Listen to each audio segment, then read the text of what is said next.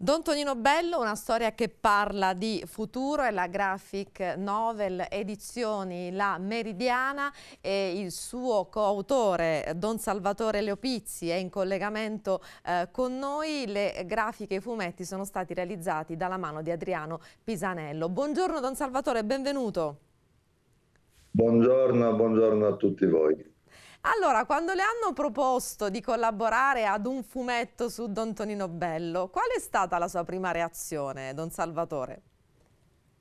È un po' di sorpresa perché è, una, è un mondo, è un genere letterario del quale io sono abbastanza digiuno, nel senso mm. che non avevo mai sperimentato ecco, la, la, la, scrivere testi per un graphic novel ma avendo la, eh, la richiesta è, stata, è venuta, insomma, pervenuta dal fratello di Don Tonino, come si fa a dire di no? No. Allora ho detto, vabbè, ci provo, vediamo un po' se, se posso essere utile anche per eh, quest'opera che Adriano Pisanello, il fumettista, eh, stava già eh, mettendo eh, in atto proprio con la sua arte, eh, ecco, doveva solo avere l'aiuto per elaborare un po' i testi e così mi sono cimentato eh, in questa avventura.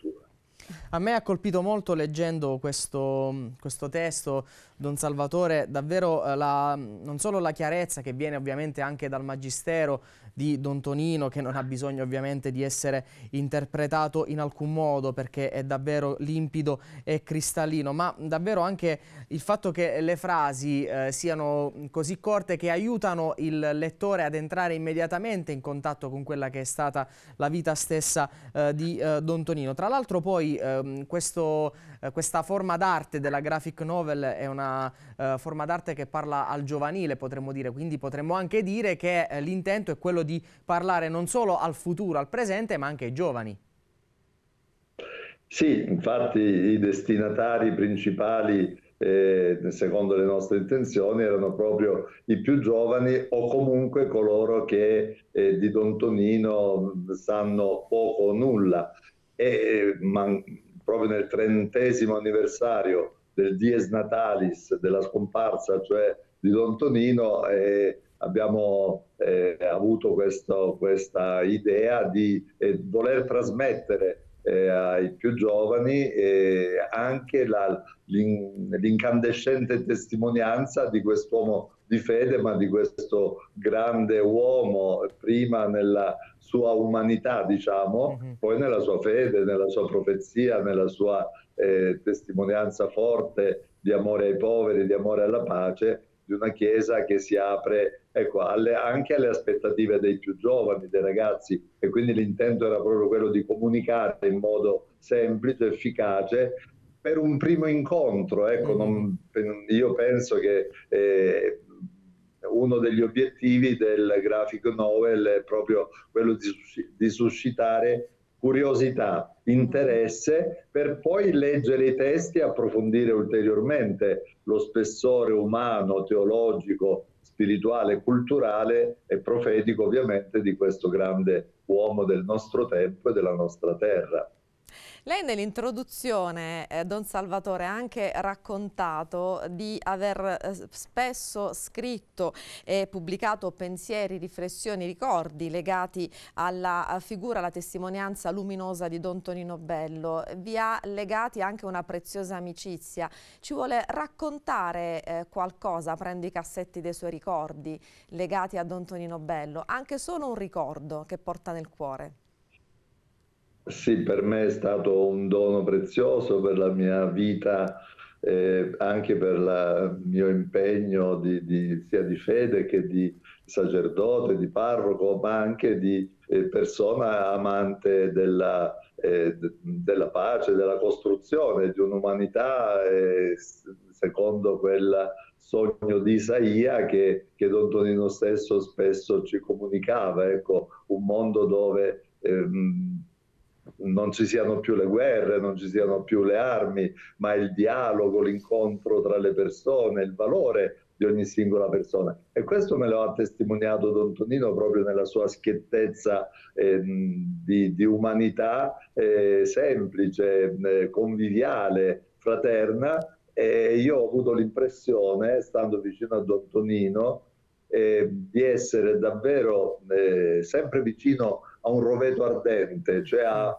a, un fuoco che arde, perché dentro gli ardevano queste passioni, che era la passione per l'uomo, la passione eh, per Dio, per il Vangelo, per Gesù Cristo, per la pace. Erano passioni che lui poi ha sintetizzato sia nella sua opera di pastore, di vescovo, prima di prete ovviamente, poi di vescovo, ma anche nella sua opera poi eh, di profeta di pace, di testimone, ma non solo con le parole, con l'insegnamento. Io poi notavo una coerenza profonda tra il Don Tonino pubblico, il Don Tonino che scriveva, pubblicava discorsi, lettere, interventi di vario genere, eh, omelie, e il, e il Don Tonino privato. Ho avuto questo privilegio di vedere davvero l'unità e la coerenza di una persona che anche nel privato eh, viveva quelle grandi idealità, cioè la, la, presenza di una persona per lui era veramente dare tutta l'attenzione, tutta l'importanza,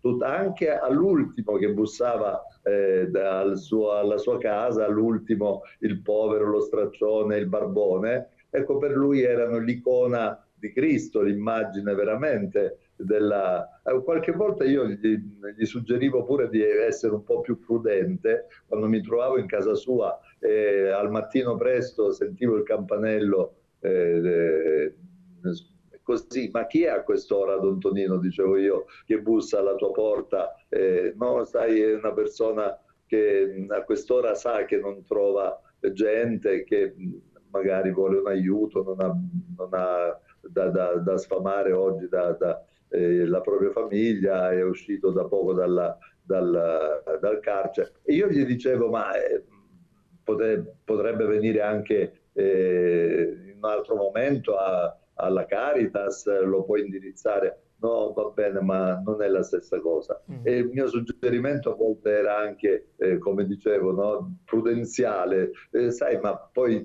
possono prenderti anche eh, in giro, sanno eh, che, tu, che, tu, sei buono, che non mandi indietro nessuno e magari eh, approfittano di te, della tua bontà, della tua carità. Sì, va bene, su dieci che vengono a bussare, nove possono anche ingannarmi, ma uno magari ha veramente bisogno del mio aiuto. E come faccio a distinguere? Però preferisco correre il rischio di essere anche magari un po' ingannato, preso in giro, ma eh, va bene così. Per me è importante non mandare indietro Gesù Cristo che bussa alla mia porta. Senta Don Salvatore, mentre parlava mi veniva in mente una delle scene del graphic novel quando alcuni giovani gli rubano la macchina, giusto? La 500. Eh, certo, certo, e lui poi certo. li riceve in episcopio e eh, li perdona, insomma, perché eh, i ladri non sapevano effettivamente di, star rub di stare rubando la macchina del vescovo e per lui era importante appunto recuperare la relazione umana dando una prospettiva diversa, era una delle sue convinzioni che l'uomo non va giudicato per i suoi gesti, per i suoi atti, ma in prospettiva per quello che di buono potrà fare nonostante anche gli errori eh, commessi. E allora quello fu una delle occasioni in cui mise in pratica davvero questa eh, grande fiducia nell'umanità. Ecco, la fiducia era la base poi di tutti gli interventi di Don Tonino. Non ci spiegheremmo altrimenti come la sua lotta contro le violenze, le guerre, eh, le, le, armi, la produzione e il commercio delle armi e le guerre di ogni genere, nascevano proprio da questa fiducia di fondo che l'uomo è eh, si può manifestare nella sua cattiveria, eh, nella sua aggressività, ma può anche far emergere da sé il lato più bello, il lato più nobile della sua dignità. E come credente poi, ecco, essendo eh, un cristiano convinto, diceva ma siamo tutti figli di Dio, allora abbiamo la vocazione di vivere la fraternità a livello personale ma anche a livello planetario, universale. Eh, questa era la grande visione utopica eh, di Don Tonino, anzi lui la chiamava eutopica. L'utopia è la terra bella e buona come l'ha sognata eh, Dio e come ce l'ha affidata. Un inedito duetto, eh, il graphic eh, novel eh, Adriano Pisanello e Don Salvatore eh, Leopizzi che ha scritto i testi per questo appunto libro, questa graphic novel intitolata Don Tonino Bello, una storia che parla di futuro, 580 disegni realizzati in 9 mesi e 22 giorni, scrive così nella presentazione Adriano Pisanello che eh, ringraziamo, ci ha raccontato di non essere molto eh, a suo agio davanti alle telecamere nei collegamenti Skype, quindi ha detto fatelo con Don Salvatore che sicuramente eh, saprà raccontare eh, meglio di me questo, questo fumetto e quindi come dire a parlare sono le sue parole Don Salvatore, a parlare sono anche i fumetti di Adriano Pisanello che ringraziamo. E ringraziamo anche lei per averci dedicato il suo tempo, davvero grazie di cuore per questa bellissima testimonianza che ci ha voluto regalare stamattina.